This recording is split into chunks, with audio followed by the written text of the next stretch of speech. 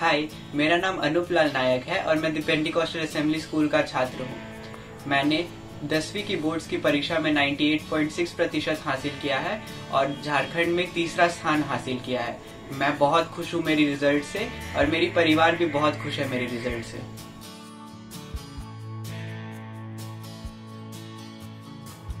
Exam से पहले obviously डर तो लग रहा था कि बोर्ड्स के एग्ज़ाम से कैसे जाएँगे, पर जैसे जैसे एग्ज़ाम्स बिकते गए, मेरे में भी कॉन्फिडेंस आता गया कि हाँ एग्ज़ाम्स अच्छे जा रहे हैं, मैं काफ़ी संतुष्ट था जैसे जिस तरह से मेरे एग्ज़ाम्स जा रहे थे, और रिजल्ट्स में भी मैं श्योर था कि मार्क्स अच्छे ही आएँगे।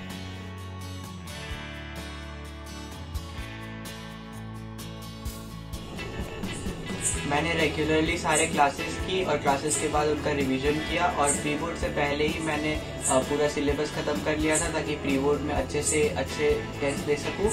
और उसके बाद प्री बोर्ड्स के बाद मैंने सिर्फ़ सैंपल पेपर सॉल्व किए बोर्ड्स के लिए और फिर सारा सिर्फ़ सिलेबस टेस्ट से पहले रिवाइज किया।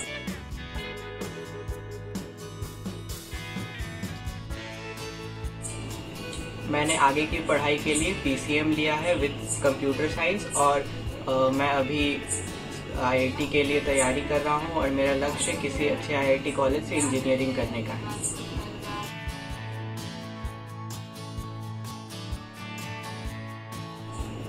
अपने सक्सेस का सारा श्रेय मैं अपने फैमिली अपने टीचर्स और खास करके अपनी प्रिंसिपल मैम को देना चाहता हूँ। उन्होंने इस रिज़ल्ट को लाने में मेरी बहुत सहायता की और उनका बहुत बड़ा योगदान है।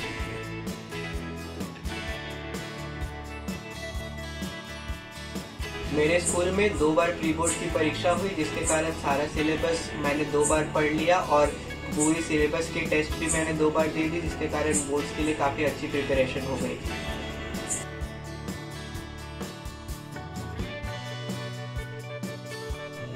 जो बच्चे अगले साल बोर्ड्स की परीक्षा में अपेयर होने वाले हैं उनके उनके लिए मैं यही कहना चाहूँगा कि लॉकडाउन के कारण आपको बहुत अच्छा अवसर मिल गया है कि आप पूरी पढ़ाई आराम से कर सकते हैं। तो खास करके एन e पर ध्यान दें सैंपल पेपर सॉल्व करें और पिछले साल के बोर्ड्स के सारी क्वेश्चन पेपर्स को एक बार अच्छे से देखें।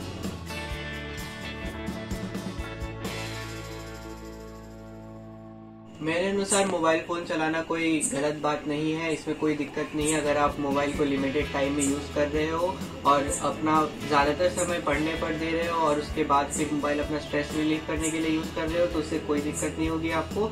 आप बस अपना ज़्यादा से ज़्यादा समय पढ़ाई पर देने की कोशिश करें और अपना सेहत का ध्यान रखें। Thank you